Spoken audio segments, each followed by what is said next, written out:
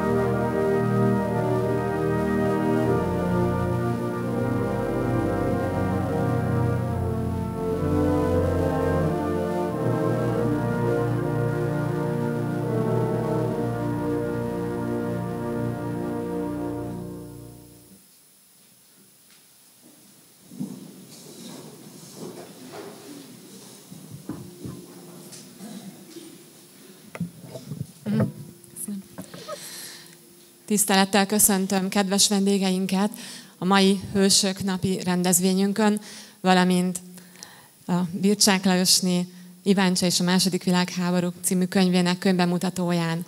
Szeretettel köszöntöm az iváncsai vendégeket, a régi iváncsai vendégeket, és természetesen a máshonnan érkezett minden érdeklődőnket.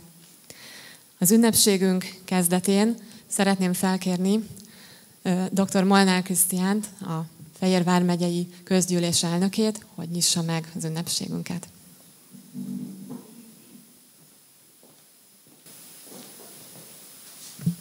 Köszönöm szépen. Tisztelt Éva néni, tisztelt polgármester úr, tisztelt művész úr, tisztelt Iváncsaiak, tisztelt hölgyeim és uraim. Köszönöm szépen a meghívást polgármester úrnak. Hősök napi emlékezésre érkeztünk, hősök napi tiszteletadásra és egy könyvbemutatóra, amely azt gondolom, hogy összefügg a hősök emlékének méltó és kegyeletteljes megőrzésével. Az 1917. évi 8. törvénycikk rendelte azt és foglalta írásba, hogy méltóképpen kötelességünk kegyelettel megemlékezni azon bajtársakról, akik a legszentebb dolgot tették, az életüket adták Magyarországért, a magyar nemzetért, a magyar emberekért. A első körben ez nyilván az első világégésnek szólt ez a törvénycikk, aztán sajnos következett még egy világégés, és így eljutottunk 1990-ig. Azért ugrottunk egyet az időben, hiszen 1945 és 1990 között még a hősök emlékét megemlíteni is tilos volt, de 1990-től újra hősök napi tiszteletadás kerül megtartásra minden évben. Sajnos van bőven miért emlékeznünk, és van számos hős, akinek az emlékért adóznunk kell kegyeletteljesen. ellentmondásosak a számok, de talán a legközelebb a valósághoz azok a számok állnak, amik az első világégés vonatkozásában 650 ezer, a második világégés vonatkozásában pedig 850 ezer magyar halottról emlékeznek meg, magyar halottat számolnak össze. Hallhattuk a törvénycik rendelkezését, a kegyeletteljes és méltó emlékezés kötelezettségét.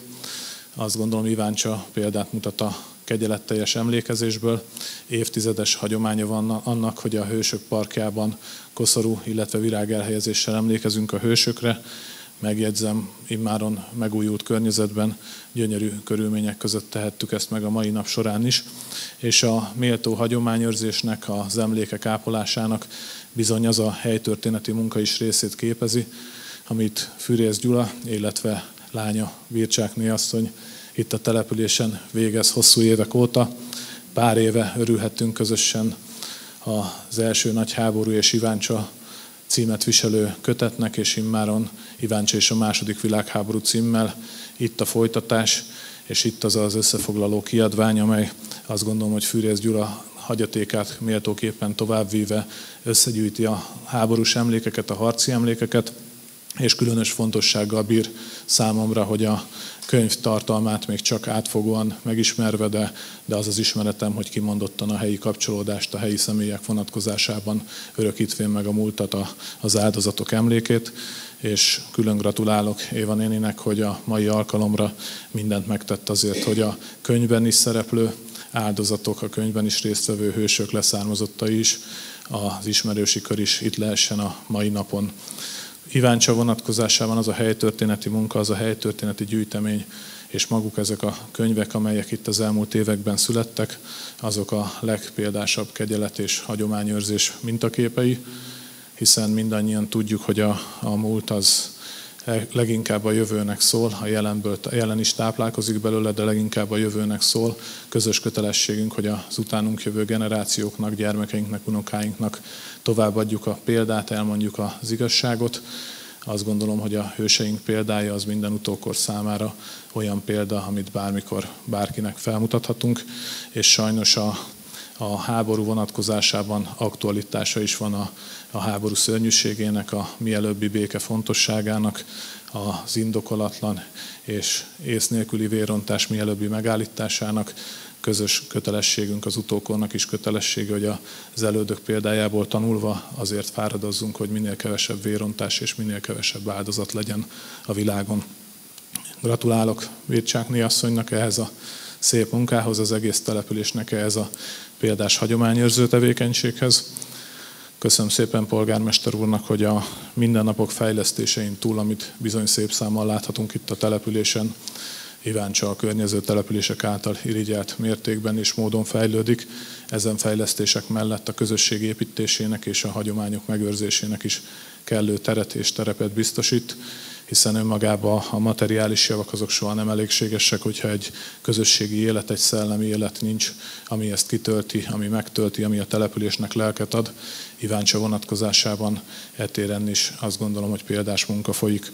És ha már hagyományőrzés és helytörténet. Engedjék meg, hogy szívből gratuláljak és jó egészséget kívánjak idősebb Molnár Tibornak, aki 30 évig vezette a települést, ebből 20 évig polgármesterként, és nemrégiben töltötte be 70. születésnapját. Isten éltessen, polgármester úr, most nem látom, hogy ott vagy. Isten éltessen sokáig. Köszönöm szépen. És Isten, éltes, Isten éltesse valamennyi iváncsait, és kérem és szorgalmazom, hogy ezt a példás helytörténet és hagyományőrző munkát, amit látható, azt folytassák a következő években is. Köszönöm szépen, hogy itt lehetek, és köszönöm, meghallgattak. Köszönöm.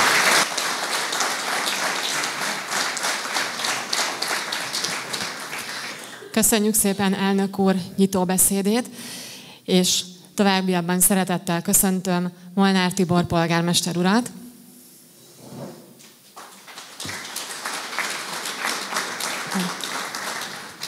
Sáfár Gabriela jegyzőasszonyt,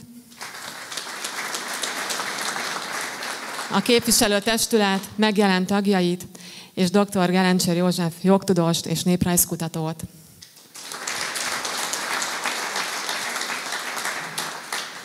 Most felkérem Molnár Tibor polgármester urat, hogy tegye meg a könyv ajánlását.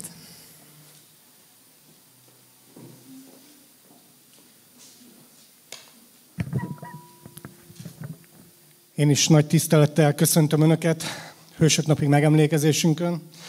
Külön szeretném köszönteni Bircsák Lajos névanénit, helytörténi gyűjteményünk vezetőjét, és illetve a ma bemutatásra kerülő könyv szerzőjét. Köszöntöm dr. Molnár Krisztián urat, Fejlvár megyei közgyűlés elnökét, Rózsafi János hadtörténész urat, és minden kedves jelenlévőt. Hosszú évek óta hagyomány itt Iváncsán, hogy május utolsó vasárnapján együtt emlékezünk a két háború iváncsai hőseire, de ez az esemény nagyszerű alkalom arra is, hogy ünnepélyes keretek között mutassuk be Bircsák Lajosné Iváncsa és a második világháború című könyvét.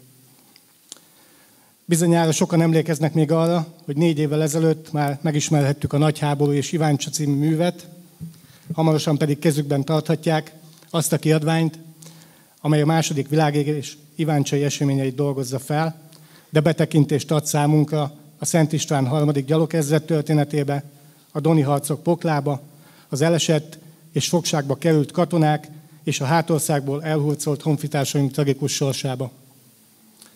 A könyv megírásához hosszú előkészületek vezettek, több mint tíz éves konkrét kutatómunka előzte meg, de a könyv előélete ettől sokkal régebbre nyúlik vissza.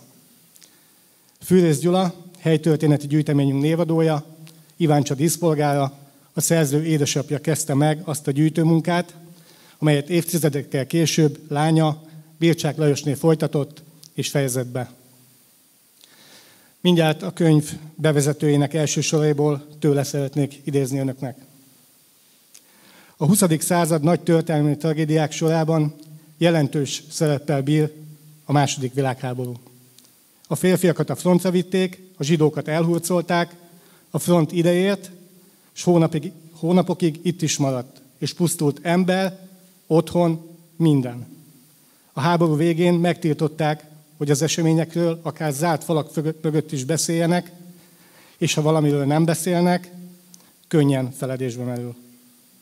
Azóta 80 év eltelt. Kötelességemnek érzem, hogy kortársaimnak és az utánunk jövőknek közreadjam az iváncsai katonák történetét, felvillancsam a zsidók kálváriáját, és a falu lakóinak sorsát a háború végéig, és még azon túl is. Én azt gondolom, ha majd önök is olvassák a könyvet, végignézik a fotóalbumot, látni fogják, hogy rengeteg nekünk, iváncsaiaknak ma is ismerős név köszön vissza. Bélei, Bőle, Baki, Marcinka, Dobozi, Göncöl, Gémesi, Kárász, Keresztúri, Vasadi, Rákász, az ő leszármazottjaik ma is itt élnek köztünk. De olyan neveket is olvashatnak, akikre már a legidősebbek sem emlékeznek. Sokuknak, katonáknak, munkaszolgálatosoknak, az elhurcolt zsidóknak, egész családoknak nem adatott meg, hogy megéljék a béke eljövetelét. Nekik, az ő számukra mi maradtunk az utókor, akinek nem csak lehetősége, hanem valóban kötelesség is megőrizni az emléküket. És ez a könyv éppen ezt teszi. Méltón emlékezik a közel 256-ba vonuló iváncsai katonáról, a 70 hősi halottunkról, a 35 polgári áldozatról, a 14 elhurcolt zsidó honfitársunkról.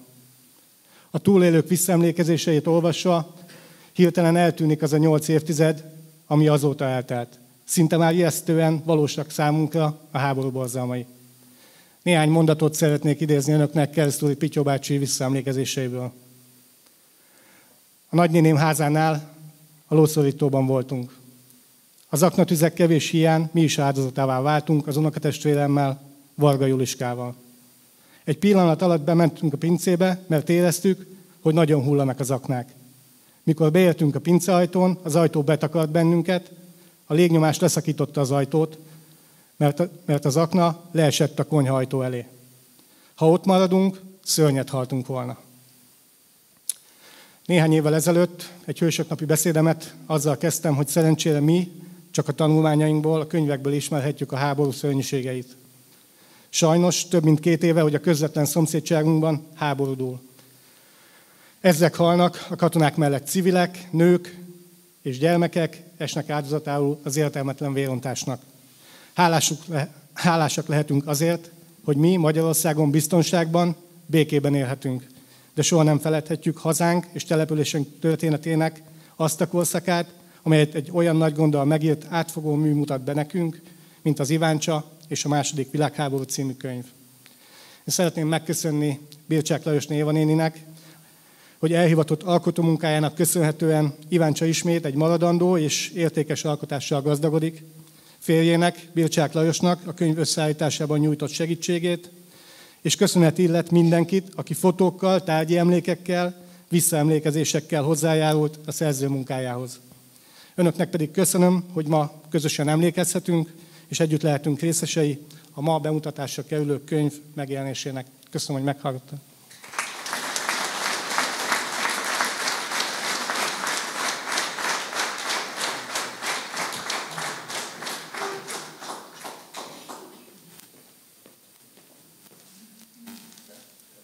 És egy csokolvirággal szeretném megköszönni Évenének a munkáját. És nincsen Covid. Nagyon.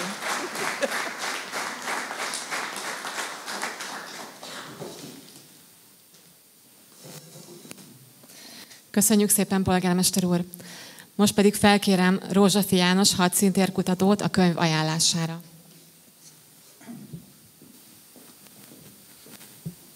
Tiszteltek, köszöntöm Önöket! Hát valóban egy nagyon fontos nap Iváncsa történetébe, hely történetébe, hiszen egy olyan könyv kerül a olvasók, a falu lakossága, város? Falu lakossága kezébe, ami egy hiánypótló. Hiánypótló, hiszen, mint polgármester úr is mondta, hogy elkészült az első világháborús könyv, és ott volt egy üres hézag. Vajon mi történt azokkal, akiknek a fiai vettek részt a második világháborúba, vagy mi történt azokkal, akik itt a településen éltek, és a háború, a front, mikor ide került, hogyan zajlottak le azok a hetek, hónapok, napok. Tudom, hogy a szerzők, hiszen Lajos is nagyon sokat dolgozott a könyvben, Évával együtt, és összefogásra készült a könyv, nagyon komoly kutatást végeztek. Kutatást végeztek annak érdekébe, és ezt ők szépen a könyvbe leírták, és az olvasó követheti, azokat a politikai helyzeteket, ami odáig vezetett, hogy Magyarország is belesodródott a második világháborúba. Nagyon szépen végigkövetjük a könyvből majd azokat a részeket, amely a magával, az iváncsai fiatalokkal foglalkozik. Ugye még a háború előtti időszakban vagyunk, a Levente mozgalom, amikor a fiatalokat katonai kiképzésbe részesítették, úgymond, és amikor ők bevonultak, akkor már bizonyos katonai ismeretekkel rendelkeztek, tehát sokkal könnyebben felvették a katonai hétköznapokat, a kiképzés nehézségeit, hiszen sok mindennel már tisztában voltak. A könyvből megismerjük azokat az alakulatokat. Kimondottan a Székesfehérvári Szent István harmadik honvéd gyarogezredet, amelybe zömébe bevonultak. Én Adonyi vagyok, és elmondhatom azt, hogy az adonyiak, iváncsaiak, perkátai, kercsélyek, tehát a Fejér megyei katonák zömébe a székesfehérvári alakulatokba vonultak be, hiszen nem csak a, a harmadik honvéd gyalogezred volt Székesfehérváron, természetesen több alakulatba is bevonultak, de kiemelten ebbe a harmadik gyalogezredbe, vagy pedig amikor elkezdődtek a háborús események, de már előtte megalakult úgynevezett 33-as gyalogezreddel, gondolom önök is találkoztak olyan tábori levelező lappal vagy levéllel, ami attól az ezrettől érkezett haza az itthon levőhöz, hiszen ikresítették a gyalogezredeket, egy 30-as számot tettek melléjük, és ezek az ezredek is épp úgy kerültek ki a frontra. 1941-ben is már az iváncsai katonák kint harcoltak a keleti fronton, de ugyanakkor kikerültek az úgynevezett megszállt területre. Oda a Székesfehi 33-as, tehát az ikresített ezred soraival kerültek ki, és az egyik századnak a parancsnoka az a Kós Otto volt, akiről a könyvbe is olvasnak majd, magyar királyi százados. Otto bátyám mesélte nekem, nagyon jól ismertem, nem régen halt meg 104 éves korában, hogy amikor ott álltam a pályaudvaron, és a katonák búcsúztak, ott volt a szerelvény, amire felszálltak és kivitte őket a keleti megszállt területre, láttam a síró asszonyokat, láttam a síró gyerekeket, és nekem az jutott eszembe, hogy ezeket a katonákat nekem haza kell hoznom a családjukhoz. És elmondhatom, hogy Kósottól szintén egyike volt azoknak a kiváló magyar katonatiszteknek, akik nagyon odafigyeltek a körülményekre, odafigyeltek a katonáikra, mert haza kellett hozni. És ha már arról beszélünk, hogy ugye kikerültek a katonák a frontra, ne felejtsük el azokat az asszonyokat, akik itthon maradtak a családdal, a gyerekekkel, a gazdasággal, hiszen zömibe ugye paraszkatonák voltak, a bevonultak. Hiszen a családot tovább kellett éltetni, tovább vinni őket, megteremteni azt a módot, a napi megélhetési módot. És így a történelmet, vagyis a katonai történelmet, amikor olvassuk a könyvbe, akkor megismerjük azokat az ezredeket, amelyek kint harcoltak a keleti fronton. Megismerjük a Doni eseményeket. Az, azt a borzasztó kemény harcokat, mert nagyon keményen harcoltak a, ott a magyar katonák, de azt a borzalmas visszavonulást. Hiszen a legnagyobb áldozatot a orosz tél követelte a katonáktól, a mínusz 30 fokos hideg, a nem ellátott egységeknek a hazakerülési nehézségei, és bizony nagyon sokan ott vesztették az életüket. Amikor önök forgatják a könyvet, és meglátják egyek katonának a hadi útját, hogy hol szolgált, melyik egységbe, vagy hol volt hadifogságba, akkor önök is látják azt, hogy az ibáncsai katonák hova eljutottak milyen területekre. Hadifogság esetén például a szovjet munkatáborokba, hiszen visszaemlékezést is majd olvashatnak, hogy milyen körülmények között dolgoztatták őket. A másik pedig, hogy eljutottak az úgynevezett nyugati fogságba. Egyáltalán nem volt különbség, nem sok különbség volt, talán így mondanám a két fogság között, hiszen épp úgy nehézségeik voltak. Esetleg a nyugati fogságban majd Fürez Gyula visszaemlékezésébe olvasták azt, hogy megpróbáltak emberek maradni, tanítani a fiatalokat, valahogy tovább minni azt az életet is abban a nehézségben, amiben ők kerültek. Tehát megismerjük az ezredeket, megismerjük a katonákat, és önök, amikor majd folygatják a könyvet, nagyon sok fotóval találkoznak. Ezt a szerzők önöknek köszönhetik, hiszen önök adták azokat a fotókat az egykori nagypapáról, vagy hozzátartozóról, vagy rokorról, akinek a fotója bekerült a könyvbe, hiszen önökhöz fordultak a szerzők, hogy segítség ennek a könyvnek az elkészítését.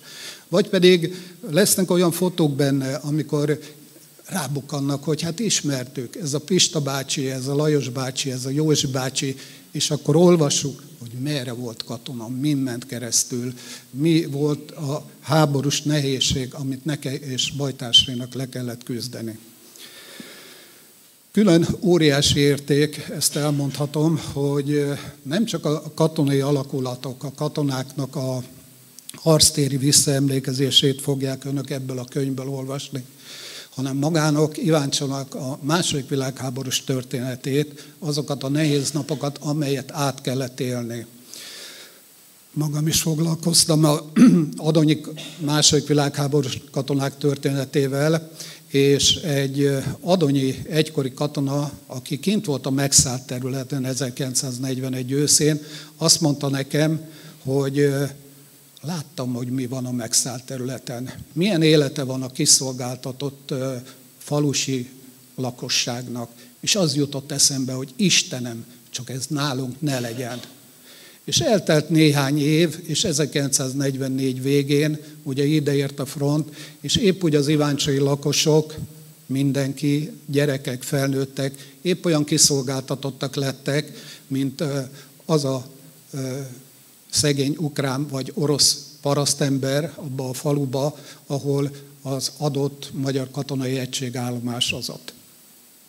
Tehát nagyon jó abból a szempontból is, hogy megismerjük, mi történt, megismerjük azt a kiszolgáltatottságot, valamint azt, hogy mi ment keresztül a település. Ugye a német, orosz megszállás, az utcai harcok, a bombázások, a polgári áldozatok, hiszen ismerjük, hogy 35 polgári áldozat is volt az itteni harcoknak, és ugye nagyon nehéz helyzetben voltak az iváncsai kiszolgáltatott lakosok. Nagyon jó a könyvbe az a rész, ami egy nagyon fehér foltot tár fel, mégpedig az iváncsai lakos, zsidó lakosságnak a története. Nagyon sok helyen magam is tapasztaltam az adonyi kutatásaim során, hogy valahogy az emberek nem akarnak erről beszélni egy-két mondatot mondanak, és valahogy igyekeznek elfelejteni, mi történt azokkal a zsidó lakosokkal, akikkel jó volt a kapcsolatuk, és elvitték őket, megsemmisítették őket. Nagyon jó a könyvbe, majd erről is olvashatnak bőven ezeket a visszaemlékezéseket, megismerik, hogy mi történt azokkal az emberekkel, akik itt éltek.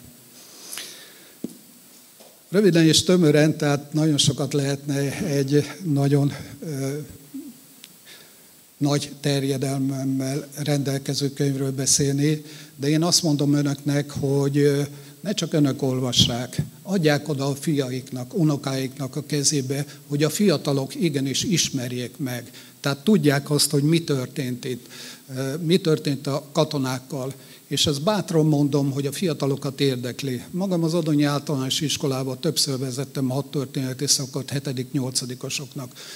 Érdekli őket. Tehát van felvevése annak, hogy mi történt, mi, milyen katonák voltak, hol harcoltak, mi történt itt az adott településen. Tehát én azt kívánom önöknek, hogy ezt adják tovább, és családon belül, ismerettségen belül is.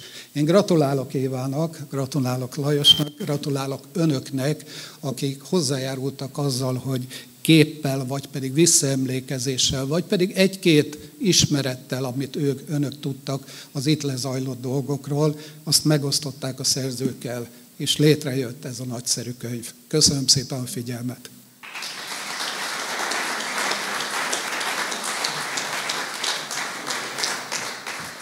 Köszönöm szépen Rózsafi Jánosnak. Most pedig következzék a mai nap főszereplője, Vircsák Lajosné Éva. Én itt szeretném megkérni, hogy mutassa be a könyvét. Köszönöm.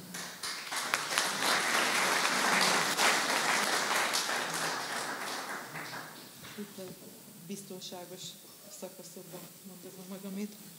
Tisztelt vendégeink! Szeretettel köszöntöm Önöket e rendhagyó hősök napi ünnepségen. A 20. századi iváncsai emberek életének legtragikusabb időszaka a második világháború volt.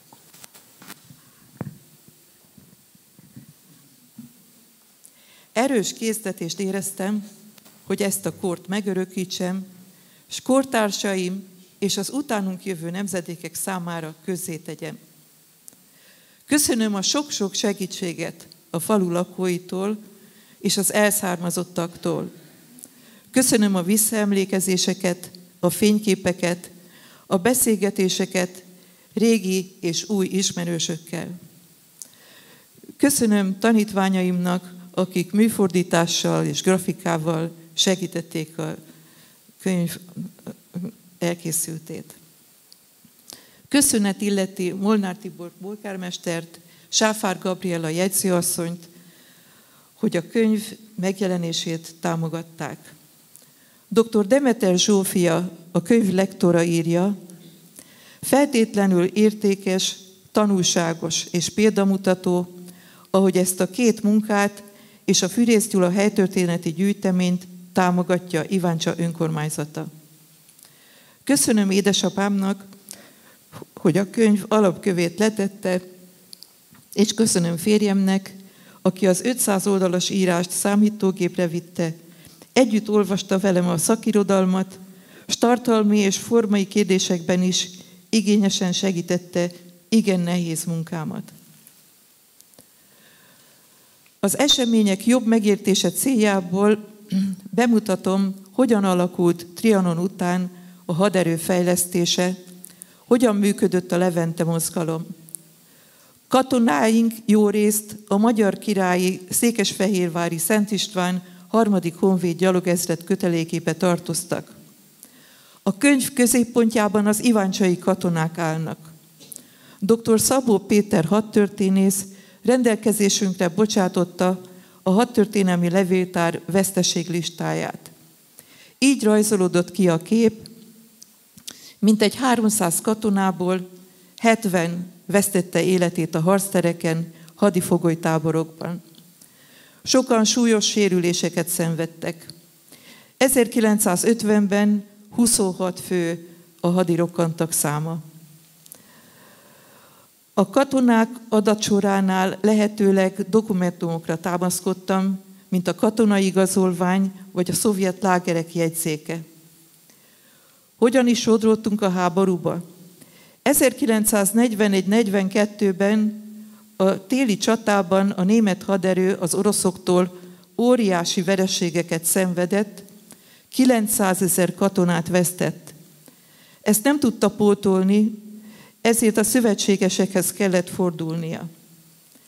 A Doni csatában a második magyar hadsereg korszerűtlen fegyverekkel és hiányos kiképzéssel bevonult csapatai kötelességtudattal és bátran állták a sarat a túlerejű, modern fegyverzetű vörös hadsereggel szemben.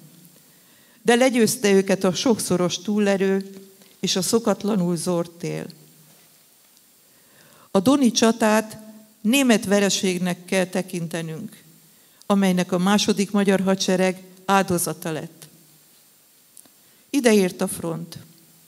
A német tüzérség jól szervezett tűzzel fogadta a Dunánál a deszantosokat, a légierő is folyamatosan lőtte, bombázta az átkelő eszközöket, igyekeztek a folyóba szorítani a szovjet csapatokat. Az Iváncsai laposon és a vasútállomásnál nagy harcok folytak. A magyarországi hadműveletek sűrűsége Budapest mellett Fehér megyében volt a legnagyobb. Települései 1944. december 3-a és 1945. március 28-a között a legtöbbször cseréltek gazdát. A magyar lakosság ellen fanatizált, alkohollal befolyásolt, szabadrabláshoz szokott katonák 1944. december elejétől 45. március közepéig tartózkodtak kisebb szünetekkel községünkben. A meggyalázott asszonyok még idős korukban sem bírtak beszélni megaláztatásukról. A frontnak 35 polgári áldozata volt, őket a bombázások, aknarobbanás, kézigránátrobbanás következtében haltak meg. Részletesen leírom a zsidók történetét, 14 embert vittek el, ebből hárman tértek vissza. Megismerhetik Elek Ferenc, dr. Elek István és Fuchs Leo életútját. A legidősebb katonák, tucatnyi, 1900 előtt születettek, már a nagy háborúban is ott voltak. A legfiatalabbak 1923-ban születtek. Őket Németországba vitték, és ott estek fogságba. A vesztes háború után katonáink hadifoglyok lettek. A nyugati fogság 1946-ban véget ért. Az orosz fogság gyakran három-négy évig is eltartott. Édesapám katonai portréját a családtörténetünk számára férjem már korábban elkészítette, és átemeltük a könyvbe, hisz a hadifogság után élete Iváncsához kötötte. Szakály Sándor történész írta, politikai hovatartozástól, pártállástól függetlenek és egyedemlegesek a katonai erények. A parancs teljesítése, a kitartás, a bátorság és a bajtársiasság. Ilyenek lehettek a katonáink, akik most lélekben mind itt vannak velünk, és újra velünk lesznek, ha majd a könyvet lapozgatjuk.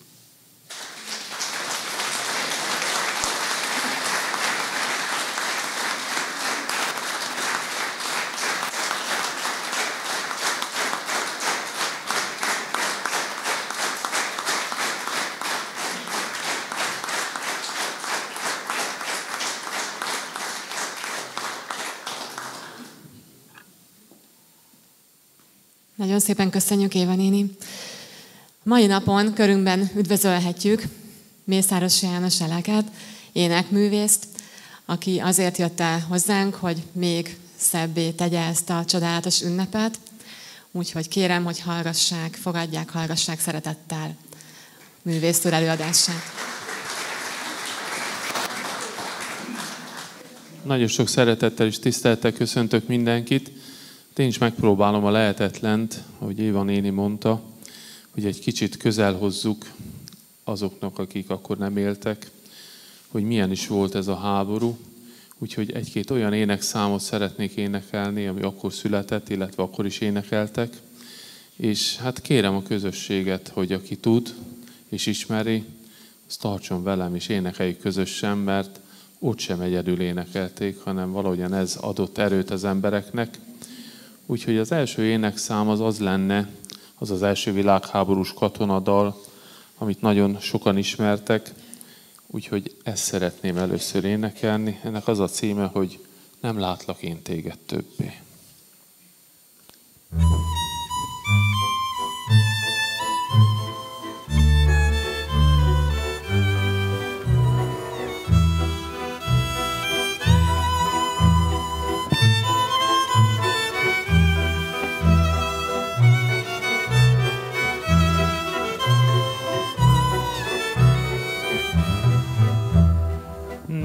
nem látlak én téged többé, soha, soha sem. Te sem látod, hogy érted, könnyes a szemem. Nevemet hiába mondod, könnyedet hiába ontod, álmok mezein te tőle távol, ott, ahol senki se gyászol, ott halok meg én. Nem lesz egy tenyérnyi föld sem, puszta síromon. Elesett katonák teste, lesz a vánkoson, ahová le fognak tenni, síromra nem borul senki, senki, aki él. Tavas sem fakaszt rám zöldet, elhordja rólam a földet, majd az őszi szél. Szeretnék még egyszer lenni, lenni csak veled. Szeretném öledbe tenni, őszülő fejem. Szeretnék ajkadon égni, szeretnék te véled élni, csak egy éjszakát, azután akármi érhet, boldogan halok meg érted, vestem hazám. Szeretnék ajkadon égni, szeretnék te véled élni, csak egy éjszakát, azután akármi érhet, boldogan halok meg érted, itt vesem hazám.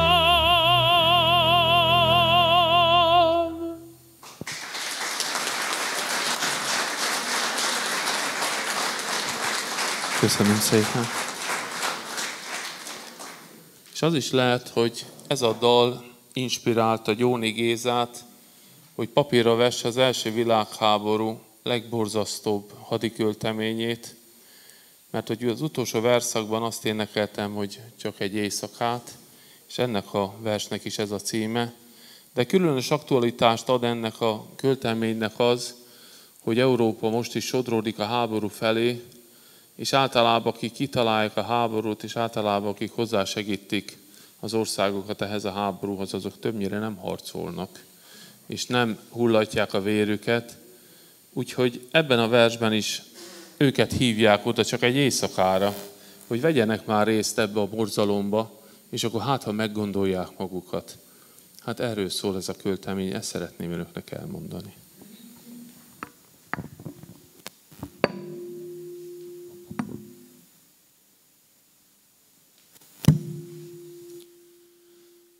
Gyóni Géza csak egy éjszakára.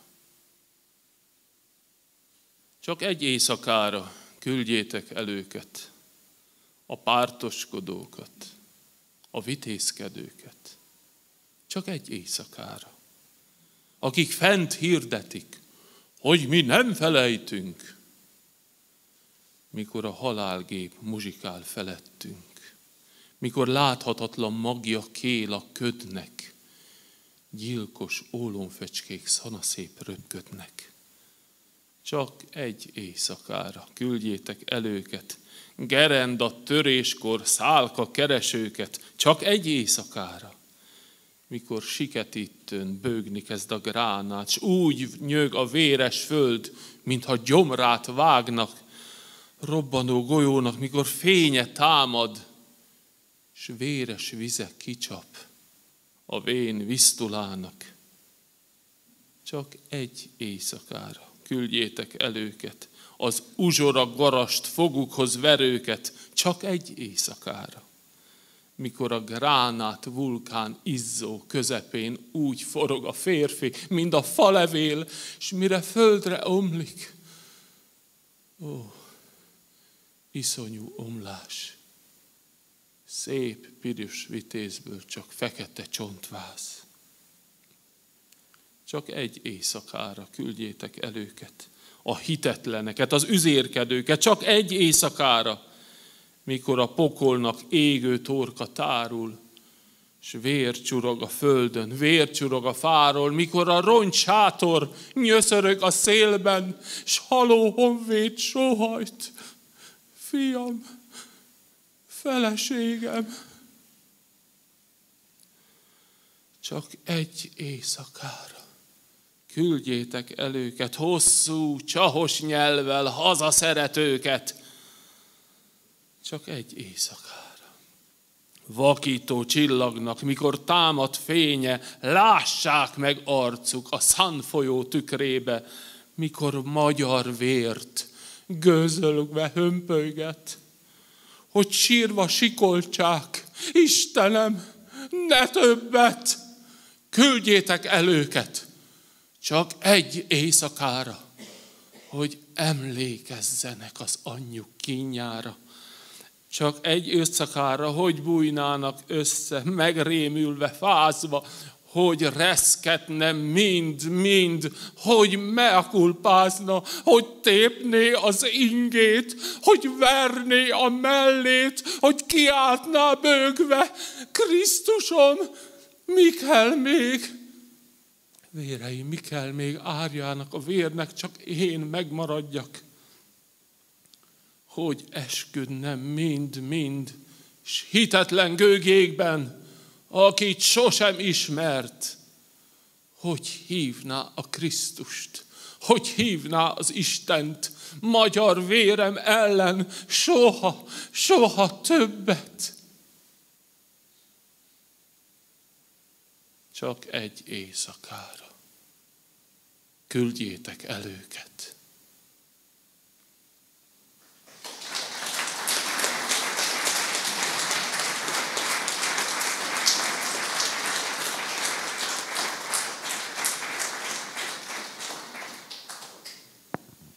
Következő,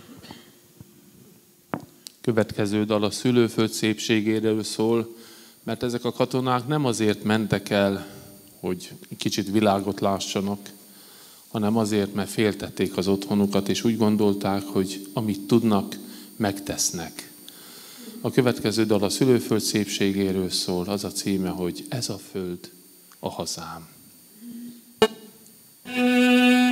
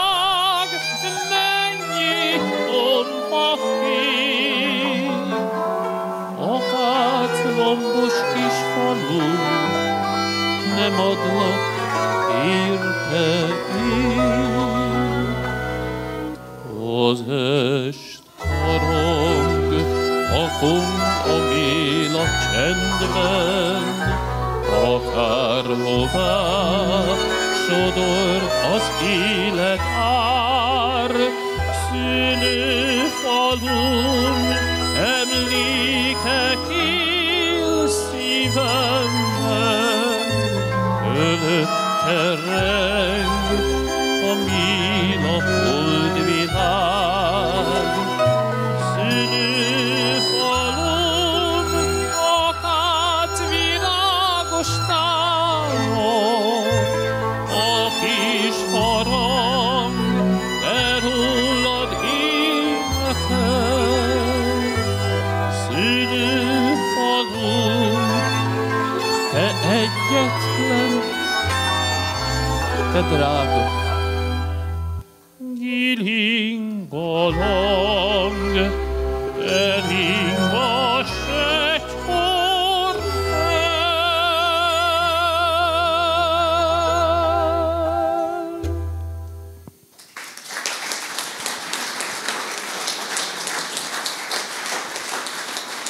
szépen. Az első világháborút lezáró békeszerződés békebiktáta magában hordozta a második világháború kirobbanásának a magját, mivel olyan igazságtalan volt, amit nem tudtak elfogadni a népek, hát legalábbis Magyarország nem. És aztán ekkor született nagyon sok dal az ország szétdarabolásának emlékére, akkor született ez a költemény is, ott, ahol zúg, az a négy folyó. Ezt is nagyon sokat énekelték a második világháború alatt, és még utána is, bár nem volt igazán dicséretes dolog, és nem is nagyon lehetett, de mégis fennmaradt ez a dal, Kis Angyal Ernő szerzeménye. Most ezt énekeljük el közösen, és emlékezzünk azokra, akik az életüket áldozták. Háros.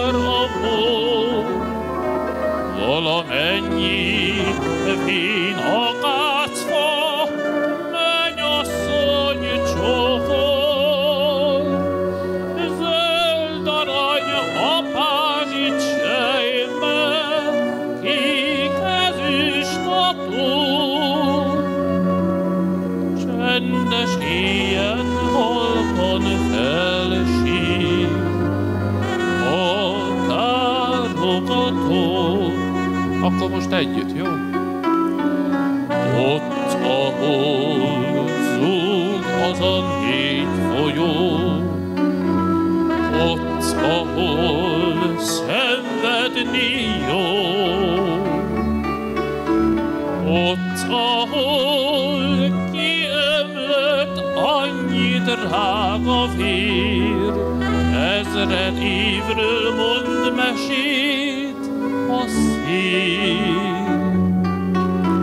Zúg a kürt az ősi párfokán,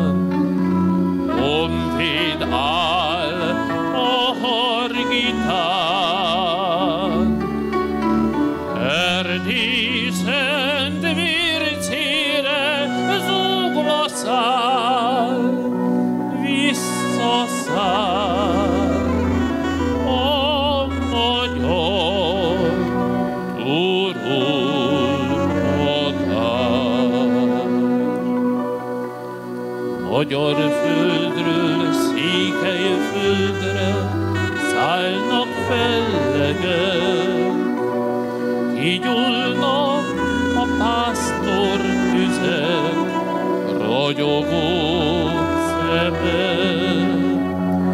Még az égen is a hadak a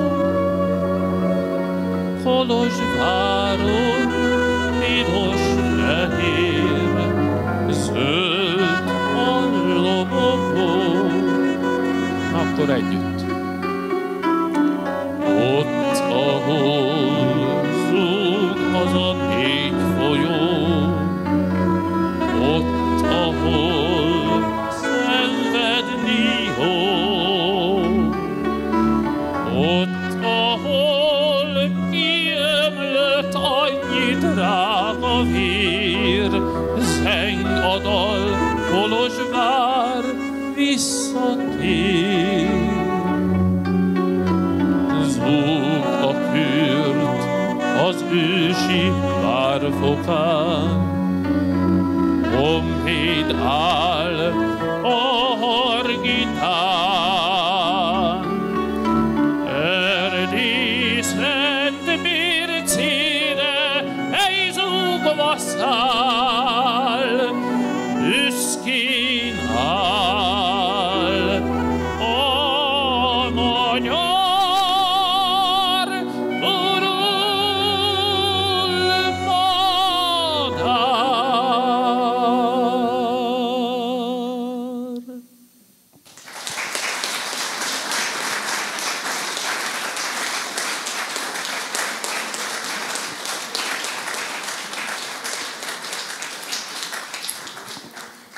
szépen. A következő négyes szám Kulinyi Ernő és Vince Zsigmond Hamburgi Mennyasszony című operettjéből való. Hát bizony ez az operett is elfelejtődött, de ez az egy dal fennmaradt, pedig ez sem volt tanácsos 40 évig énekelni. A címe az, hogy szép vagy, gyönyörű vagy, Magyarország. Aki ismeri, nyugodtan tartson vele.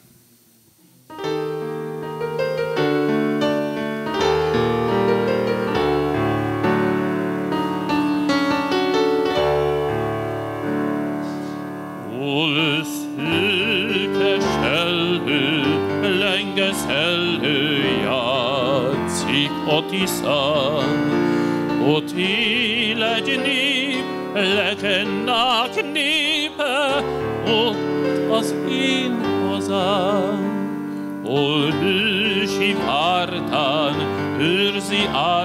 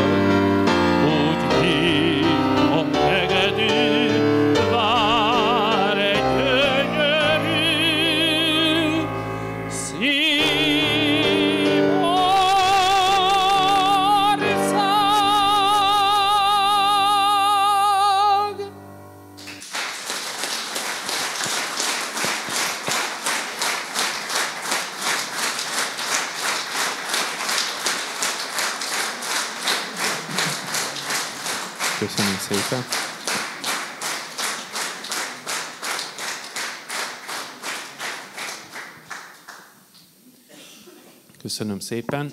Hát a következő Kodály Zoltán Hári János című daljátékából jönne a toborzó.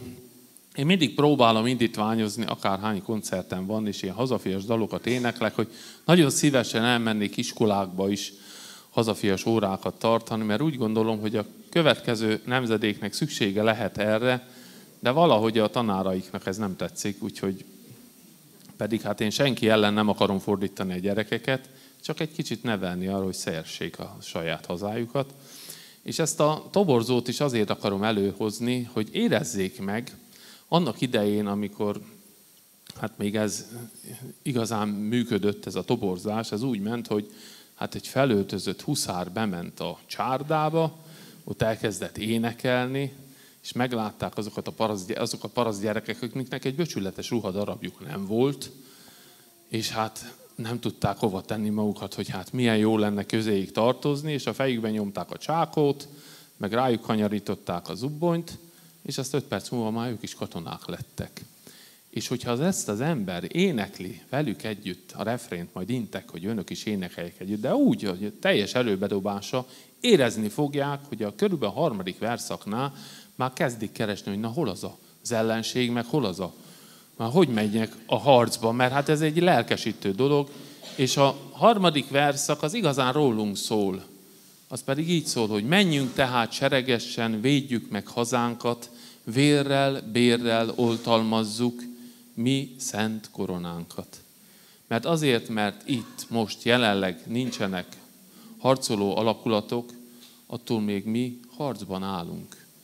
Szellemi honvédségre van szükségünk, védeni kell a magyar nyelvet, védeni kell a magyar termékeket, a magyar gondolkodást, mindent, ami bennünket ide köt, mert kinevelnek egy új nemzedéket, ami ellenünk fog fordulni, ha ezt nem tesszük. Úgyhogy most ezt próbáljuk meg közösen énekelni, és úgy, ahogyan, ahogyan csak lehet. Jó? Az ötös számot kérem. A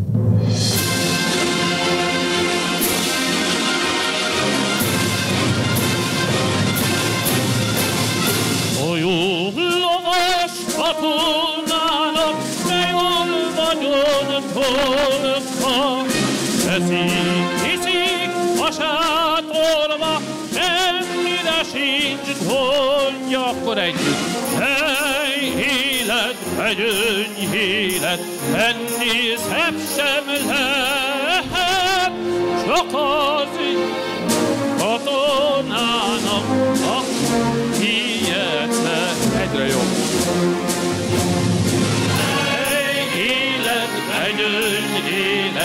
élet, ennél szebb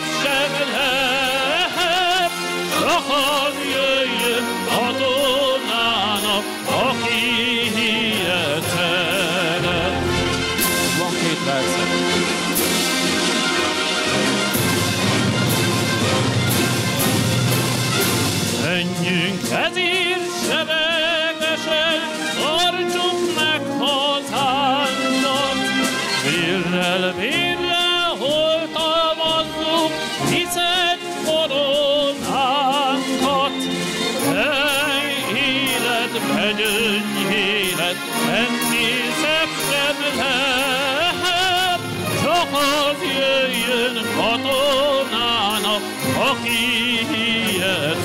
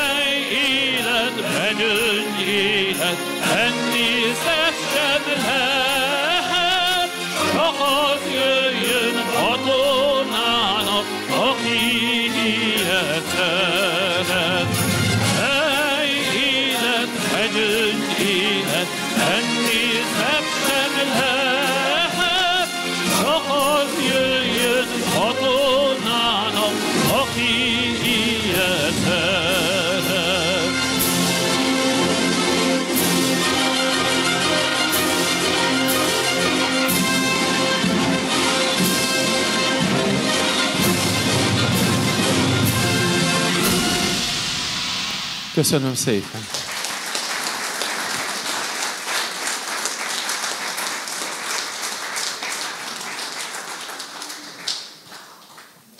És akkor, hát a nagyok úgy szokták mondani, hogy a ráadás szám előtti utolsó énekszám következik. Ez pedig nem más, mint Erkel Ferenc Bánkbán című operájából, Bánk áriája, a második felvonásból. Ez a hazafiságról, a haza szeretetről szóló legszebb nemzeti áriánk. Annélkül a legszebb, hogy ez a két szó, hazafiság, hazaszeretet, nem is hangzik el benne. És mégis, amikor azt éneklem, hogy zokog, de szolgálja népe szent javát, ennél, ennél szebben talán a hazafiságot nem is lehet megfogalmazni. A hazaszeretetről találtam egy kis négysoros verset a valamikori Tiszán inneni református püspök arany ABC-ben, és akárhova megyek a világon, mindig elmondom, hogy ezt a négy sort érdemes lenne minden iskola falára felírni, és már egy-két helyen föl is írták. Így szól. Szívből szeresd, édes hazád, ez második édes anyád. Munkád után ez áld neked kenyeret és becsületet. És amíg szól ez az ária, még emlékezzünk egy személyre, aki idén szeptember 18-án lenne 108 éves. Emlékezzünk Simándi Józsefre is. És azok a gondolatok, ami egy-egy templomi koncerten két énekszám között el szoktak tőlem hangozni, egyszer este összeálltak bennem egy pici versé, ezt elmondanám. Ha van mit mondanod, ha van mit mondanod, és kiállsz a nép elé, dallamok szárnyán üzensz az ég felé, ne szégyelt soha kitárni lelkedet, ne használj mást, csak az anyanyelvedet. Mert ezért teremtettél e föld porából. Ezért választottál ki e nép sorából, hogy büszkén felvállalt értékeinket. Mert csak így ismerhet meg a világ minket. Van egy kis nép Európa szívében, Kárpátokkal ékes Duna, Tisza völgyében, számomra legszebb hely a világon. Édes szülőföldem, szép Magyarországon.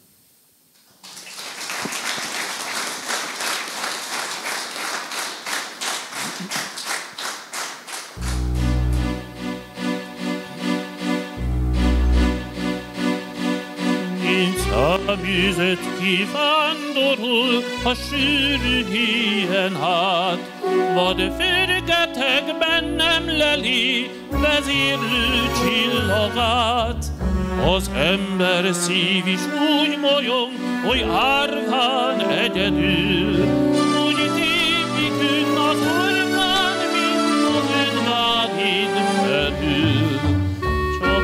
nagy érzés éltetett sok gond és gyász alatt, hogy szent hazám és hős nevem szeplőtlen megmarad. Most mind a kettő orvosra vár, még itt többre hazám borítsa szemfötél,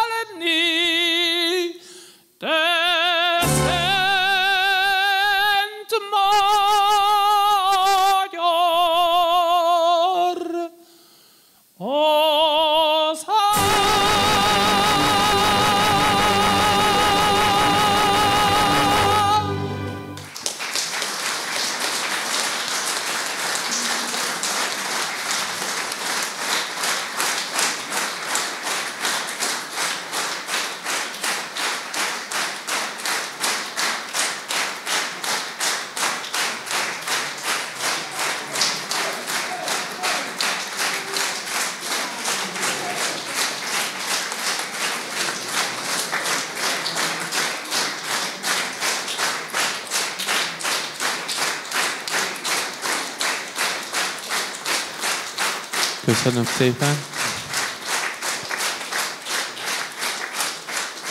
Nagyon szépen köszönöm. És azt szeretném kérni, a következő számhoz már ne is üljünk le. Mert ez pedig az Ismerős Arcok nélküle című dala, és amikor én a határon túl szoktam énekelni, amikor bekonferálom, a határon túli magyarok fölállnak, és megfogják egymás kezét, és így szokták énekelni, A harmadik verszak arról szól, mind a leszakított haldokló virág, mind az öt millió magyar, akit nem hall a nagyvilág, mind a porba hullott mag, mi többé nem ered, ha nem vigyázol ránk, olyanok leszünk mi is, nélküled. Kodály Zoltán ezt úgy fogalmazta meg, hogy akkor a szüksége van az anyaországi magyarságnak, a határon túli magyarságra, mint a kenyérnek a héjára. Az fogja körbe, az óvja meg, hogy szét ne repedezzen. Úgyhogy így énekeljük el közösen, és ebben szeretném megköszönni a türelmüket és a figyelmüket.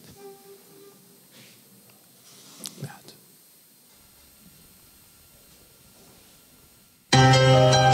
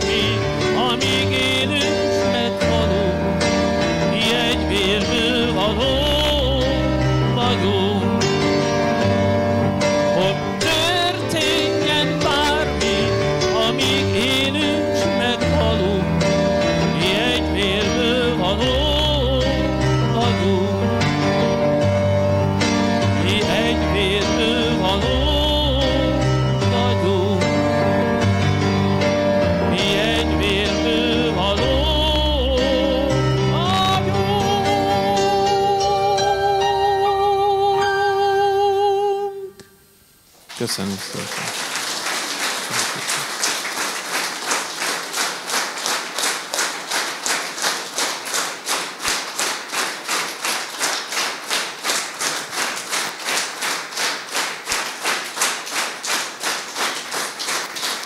Nagyon szépen köszönöm a meghívást. Köszönöm szépen. Köszönöm szépen.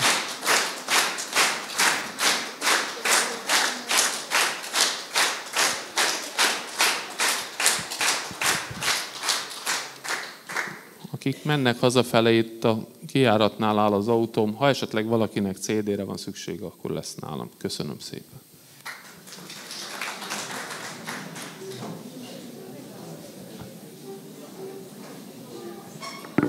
Várom a Juditot, hogy. Nem szólsz? Még egy picit kérném szépen önöket, hogy foglaljanak helyet. Még néhány közérdekű közleményt megpróbálok elmondani, bár művész úr nagyon nehéz helyzetbe hozott engem, mert ezután az előadás után igen nehéz megszólalni. Úgyhogy nagyon szépen köszönjük még egyszer ezt a csodálatos műsort és előadást. Úgyhogy a ünnepségünknek lassan a végéhez érkezünk. Hmm, először is Szeretném felhívni a figyelmet, hogy Éva néni könyvét itt a helyszínen is meg lehet vásárolni, mégpedig az Iváncsáért Közelapítvány kuratóriumának tagjai segítségével. Kucsera Gabiék már ott ülnek az asztalnál, úgyhogy lehet dedikált könyvet is kérni Éva nénitől. Valamint szeretném önöket meginvitálni egy kis vendégségre, frissítőkkel, üdítőkkel készültünk ott hátul a terem végében, valamint a a nyugdíjasok Iváncsai szervezetének jó voltából idén is elkészült a hagyományos Iváncsai pompos, melyre szeretettel várjuk Önöket. Hagy emeljem ki Rozbora Gézáni Erzsike és Kovács Gézáni Éva nevét, akik bizony fáradtságos kétkezi munkával hatalmas mennyiségű finomságot, pompost készítettek el csak erre az alkalomra.